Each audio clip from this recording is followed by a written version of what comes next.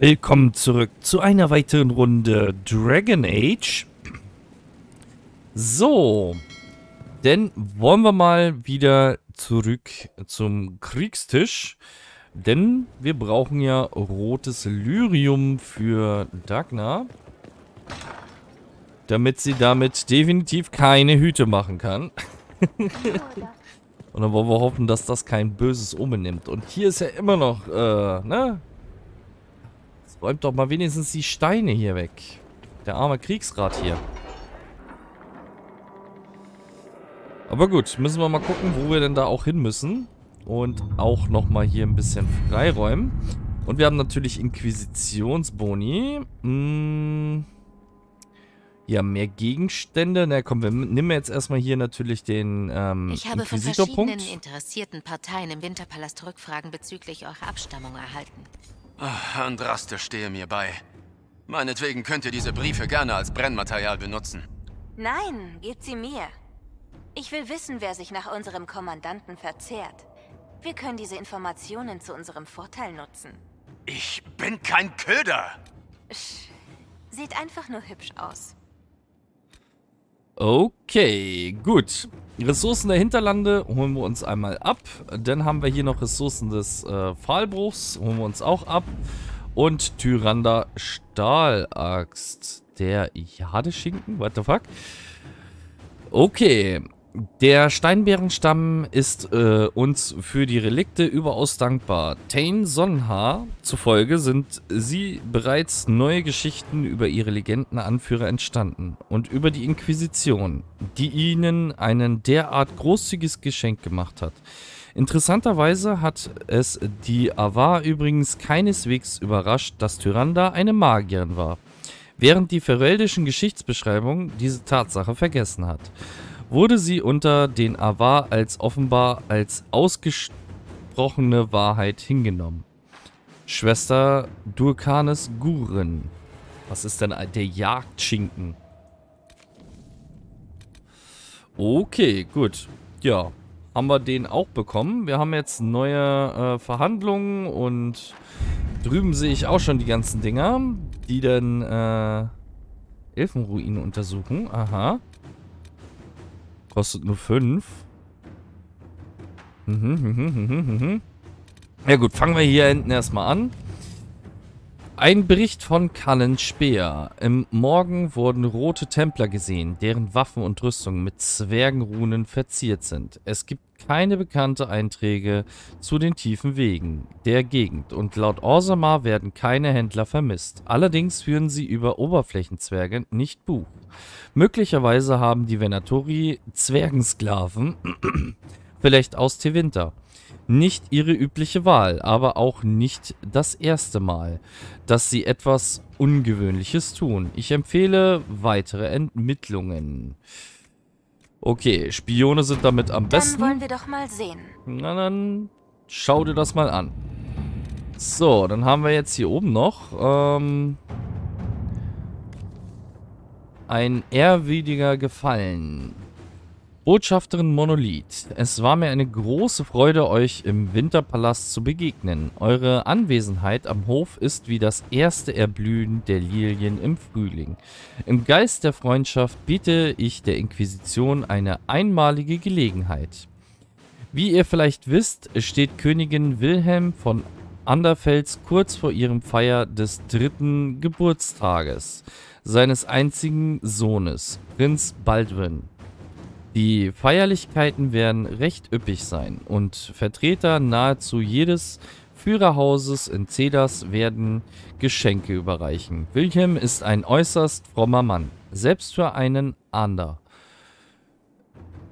Ein Geschenk des Herolds von Andraste könnte die ewigen Zustimmung derer zu Anderfels nach sich ziehen. Mit besten Wünschen, Selene Falmount. Okay, gut. Dann Josephine. Leg mal los. Ähm, verschwundene Klingen. Okay, ja, gut. Machen wir jetzt mal mit Cullen. Ah da, ich weiß, ihr seid schwer beschäftigt, die Haaraugen zu sagen, was sie tun sollen. Wir haben aber ein Problem. Karis wollte mit einem Trupp eine Karawane eskortieren und hat sich noch nicht zurückgemeldet. Also habe ich Ashard und Ashard 2 auf die Suche geschickt. Ich habe sie auch nicht wieder gemeldet. Ich hoffe, ihr könnt sie finden. Langsam gehen uns die Ashards aus und wir haben nur ein, den ein Karis auch wenn er nervt. Sein Trupp ist in Ordnung. Ich hätte ihn gerne zurück. Na gut, Kalle. Machen wir uns an die Arbeit? Suchaktion starten. Ja gut, wir haben jetzt hier einmal Elfenruinen und äh, sonst nichts. Ja, jetzt sind natürlich alle unsere Leute mega beschäftigt. Das heißt, wir können den ganzen anderen Rest gar nicht erst machen. Wir wollen aber auch was machen. Das heißt, wir gehen jetzt zu den Elfenruinen. Geht auch nur mit Truppen. Inquisitor, wir haben Fortschritte in Dianheim gemacht. Den Grab der Smaragdritter. Die Anlage scheint größer zu sein als erwartet. Da mein Hüter an diesen Unternehmen nicht interessiert war, möchten uns ja vielleicht die Inquisition unterstützen. Ich würde nur ungern mit leeren Händen nach Hause zurückkehren. Ich bin sicher, die Zusammenarbeit wäre für uns beide von Vorteil. Und außerdem ist das alles sehr aufregend. Der Ort muss doch auch eure Fantasie anregen. Taven. Na gut, dann gucken wir uns das Ganze mal an. Einige unserer Soldaten haben sich mit den Elfen in Dianheim getroffen. Die elfischen Ruinen in den Smaragdwäldern. Ihr Anführer Taven möchte mit uns zusammenarbeiten, als Zeichen der Kooperation zwischen der Inquisition und seinem Clan. Allerdings sind einige seiner Gruppen strikt gegen unsere Anwesenheit und die Pläne der Inquisition. Unsere Interesse an der Verbesserung der Beziehung zu den Dalish wäre viel überzeugender, wenn ihr einen persönlichen Treffen zustimmen würdet. Cullen. Okay. Ja, da kommen wir aber jetzt nicht hin. Wo kriegen wir denn jetzt das persönliche Treffen her? Ähm... Gut, sonst haben wir ja jetzt eigentlich auch nichts.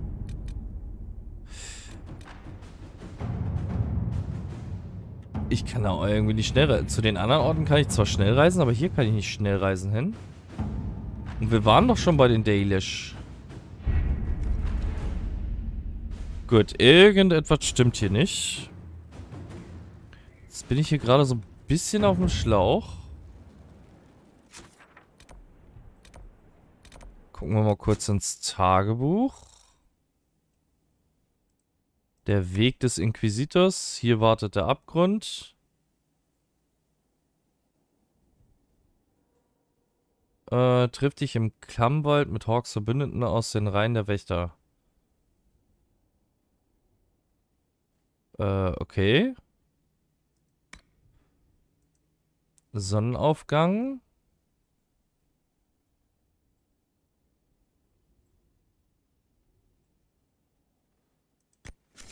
Okay, wir sollen jetzt zum Kartentisch und äh,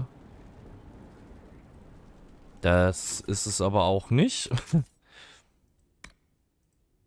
Venatori weniger. Finde den mächtigen Riss. Ja, aber wo soll ich den mächtigen Riss dann finden? Hm. So, das waren die Tore. Kehre zum Grab zurück.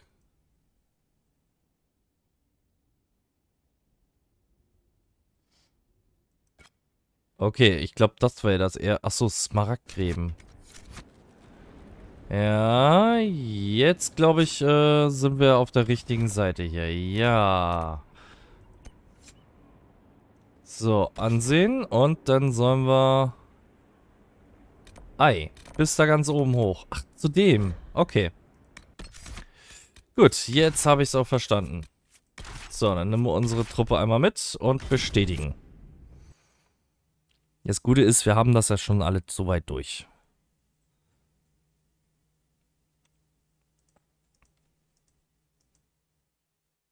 Und jetzt gucken wir, dass wir auch mal so ein bisschen die ganzen Nebenquesten fertig kriegen.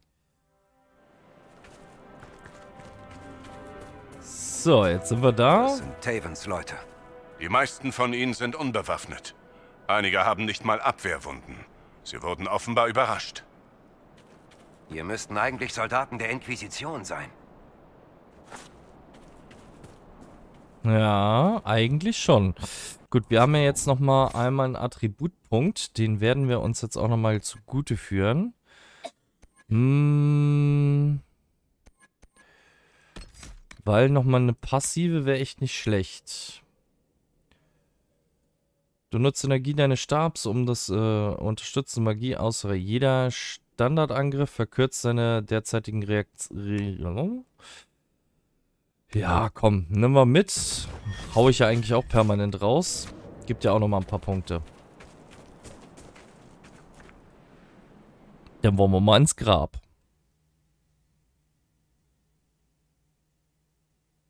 Und uns dort mal ein bisschen umgucken.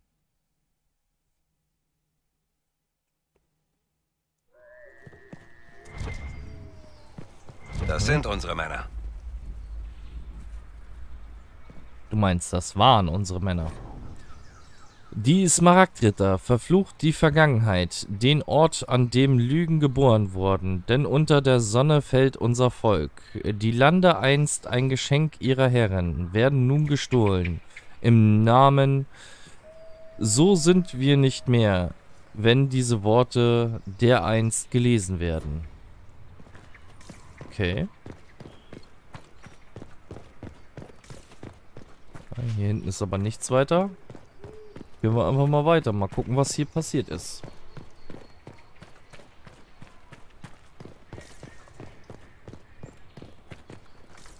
Ah, wir haben Gegner. Venatori. Na gut. So, aber die haben ja jetzt wirklich eine Chance. Nämlich gar keine.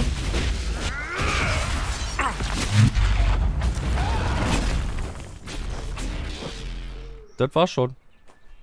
Na gut. Obwohl, da hinten ist noch einer. Oh. Und tschüss.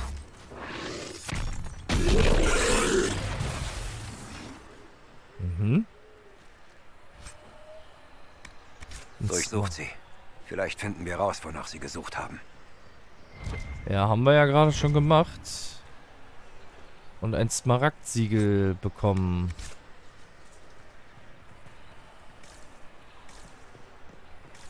Hier ist aber sonst nichts weiter.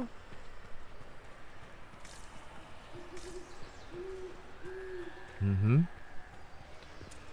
Wofür brauchen wir jetzt die Smaragdsiegel? Ist jetzt die Frage.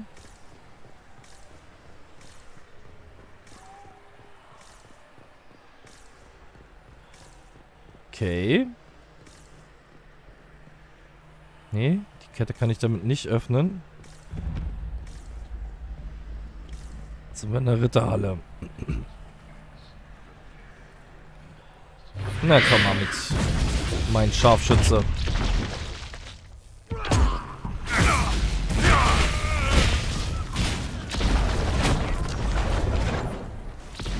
So. Nochmal ein paar Blitze für dich.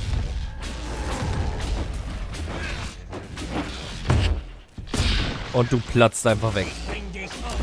Tust du nicht. Das ist mal ein Schwein, dass du immun gegen Feuer bist.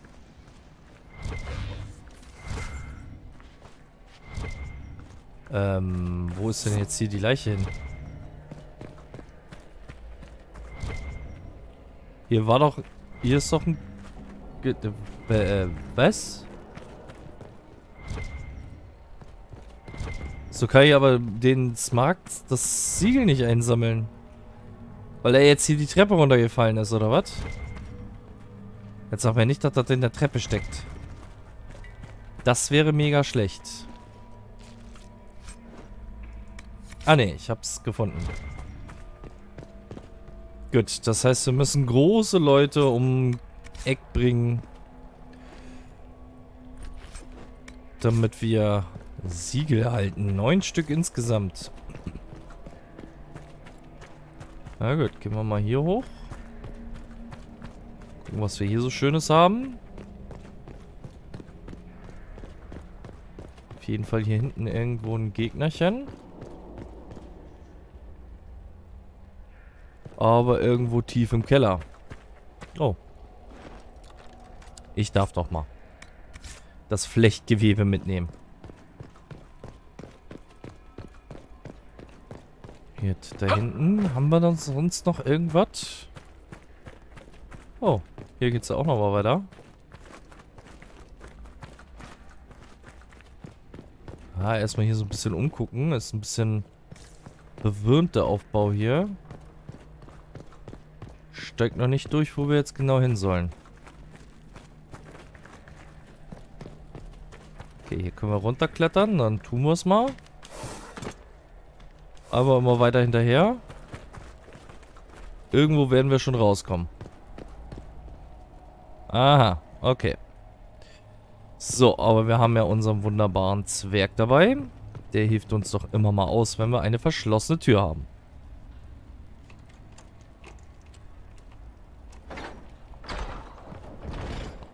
Okay, was zu plündern. Schrott aus Kirkwall. Na gut, nehmen wir auch mit. Kann man zu Geld machen. Die gesegneten Gräber. Ah, da haben wir nochmal so einen großen. Und nochmal was zu lesen. Die Smaragdritter. Gedenkt der Vergangenheit. Sie ist alles, was bleibt. Denn für jeden Ritter wurde ein Seim gepflanzt dessen Wurzel sich um jene ihrer Brüder und Schwestern schlingen. So verbleibt der Wald, ein Abbild unserer Trauer. Meine Freundin hat mir mal von den Smaragdrittern erzählt. Sie hatten wohl feurige Augen und große, spitze Schwerter. Sie hatte keinen Sinn für dramatische Beschreibungen. Ja, ja, tötet den Krieger.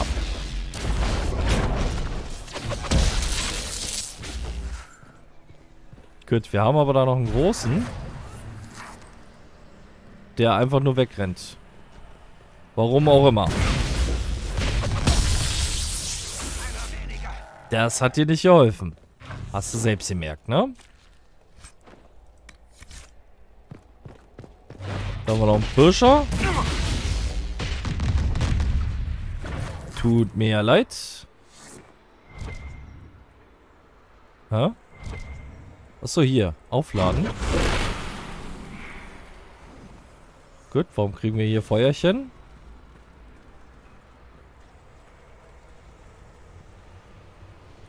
Mhm.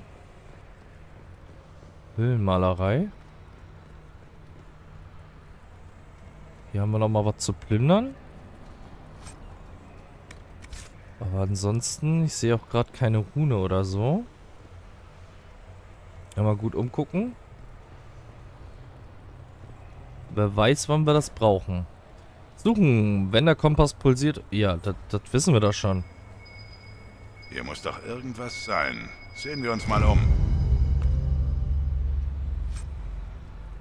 Ein Smaragdsiegel. Okay. Gut. Keine Ahnung, wie viele Teile wir jetzt insgesamt brauchen damit wir weiterkommen. Aber wir sind ja auch noch nicht überall gewesen. Und laufen hier auch momentan eher so ein bisschen im Kreisel. Hallo, Herr Pirscher. Haben Sie uns nicht mitbekommen? Ne, hat er aber nichts bei. Aber warum ist er hier? Gerade hier auf dieser Ecke. Hm. Moment, kann ich da dann raufklettern? Klappt das? Ja, ja, ja, okay. Kommen wir hier oben hoch wieder. Aber was bringt mir das hier oben oh, hoch zu kommen? Da mal wieder was zu lesen. Altanan, Teil 2. Ihr fragt, was mit Altanan geschehen ist? Das wissen wir leider nicht. Selbst unsere Behüter des alten Wissens haben keinen Bericht über die tatsächlichen Ereignisse. Es gibt lediglich Aussagen über die Tage vor dem Untergang und eine Geschichte über die Ränge, äh, Ränke der Götter. Die Welt der Menschen verändert sich, noch während die Elfen schliefen. Clans und Stämme wichen einen mächtigen Reich, das sich Tevinter nannte, und aus einem uns bekannten Grund auszog, Ilven, äh, Eleven zu erobern, als sie die große Stadt Altanan überfielen, zog unser Volk aus Angst vor Krankheit und dem Verlust der Unsterblichkeit den Fluch dem Kampf vor. Das Reich von Tevinter marschierte, unterstützt von Magie, Dämonen und sogar Drachen, ohne größere Probleme in Alternan ein und zerstörte Wohnhäuser, Emporen und Amphitheater, die Äonen überdauert hatten. Unser Volk wurde versklavt und der Kontakt zu den Menschen führte dazu, dass jeder gefangene Elf sterblich wurde. Die Elfen riefen ihre Götter um Hilfe an, doch sie bekamen keine Antwort. Zur Erklärung, warum die Götter nicht reagierten, wurde uns nur eine Legende überliefert, die besagt, dass Fenrail, der Schreckenswolf und Herr der Schwindler, an die alten Götter von Gut und Böse herangetreten ist und einen Waffenstillstand vorgeschlagen hat. Die Götter des Guten sollen sich in den Himmel zurückziehen, während die Götter des Bösen den Schlund der Hölle aufsuchen würden. Beide Gruppen sollten das Gebiet der jeweils anderen nie wieder betreten. Die Götter ahnten nicht, dass Fenriel vorhatte, sie zu hintergehen, und als sie den Plan des Schreckenswolfs durchschauten, waren sie bereits in ihren Bereichen eingesperrt und konnten nie wieder Kontakt mit der Welt der Sterblichen aufnehmen. Natürlich ist das nur eine Legende, aber Elfen, die das Jenseits bereist haben, behaupten, dass Fenriel noch heute die Welt der Träume durchstreift und dafür sorgt, dass die Götter nicht aus ihren Gefängnissen entkommen können.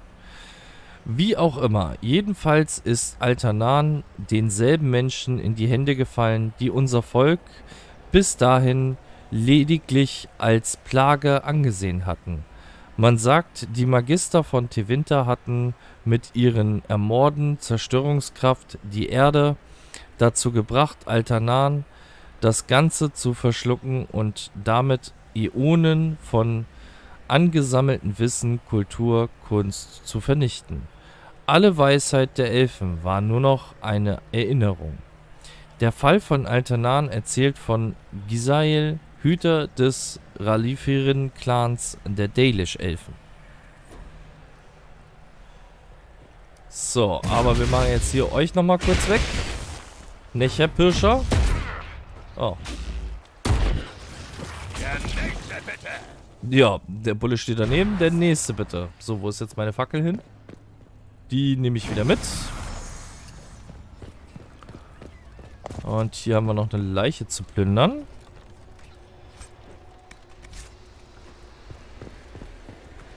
Und jetzt kommen wir hier in die Smaragdgräben.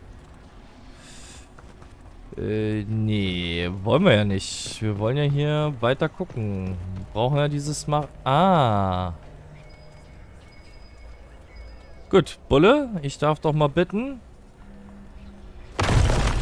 Dankeschön. So, dann gehen wir hier mal kurz rein und gucken uns hier mal um. Machen wir erstmal Feuer an hier.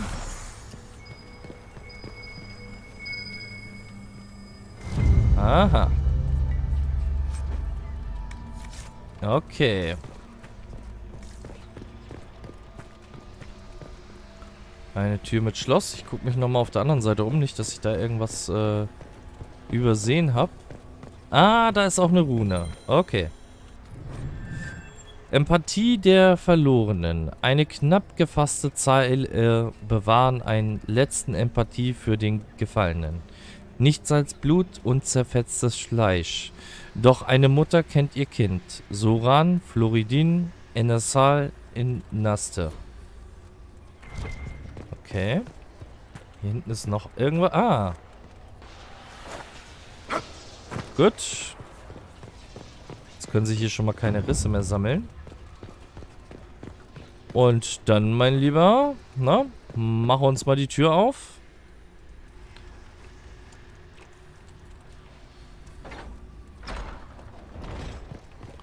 Was haben wir hier? Ah, hier ist noch eine Rune. Empathie für die Verlorenen.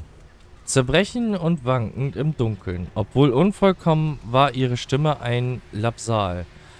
Andale verfohlen dien inasal inaste. Okay. Hier soll aber noch irgendwie was sein.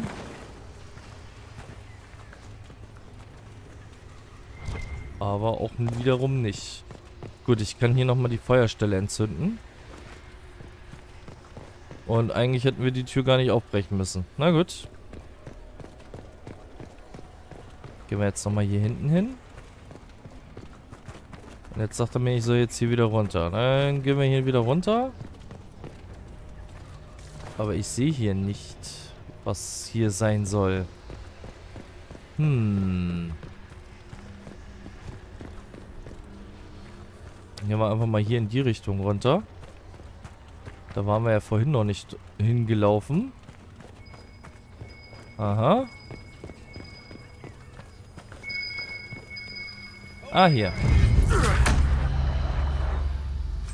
So, Smaragdsiegel und Aua. Ihr könnt mir doch nicht einfach Aua machen hier. Das geht doch nicht. Jetzt habe ich meine Fackel verloren. So, Fackel wieder ansetzen. Dann können wir nämlich hier die Feuerstelle wieder entzünden. Auch hier können wir nochmal entzünden. Und ja. Uns das jetzt was bringt, weiß ich nicht. Erfordert Smaragdsiegel. Mhm. Drei Stück fehlen noch. Mal gucken. Irgendwo müssen wir ja dann hin, dass wir die vielleicht noch finden.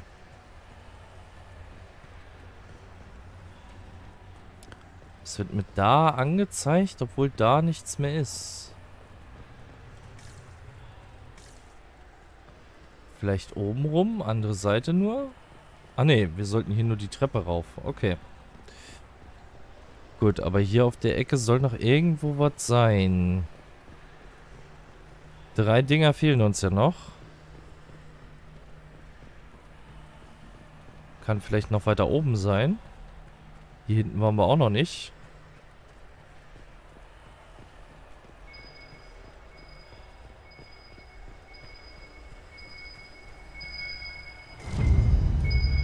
Okay. Das haben wir.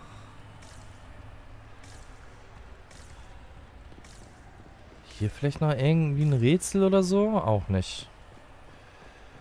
Dann fehlen jetzt noch zwei.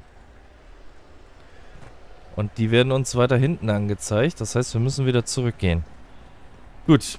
Machen wir jetzt hier, aber bevor ich jetzt wieder durch die Tür streite, nochmal einen klitzekleinen Cut. Und wir sehen uns dann in der nächsten Folge hoffentlich schon wieder. Also, schaltet wieder ein und bis denn.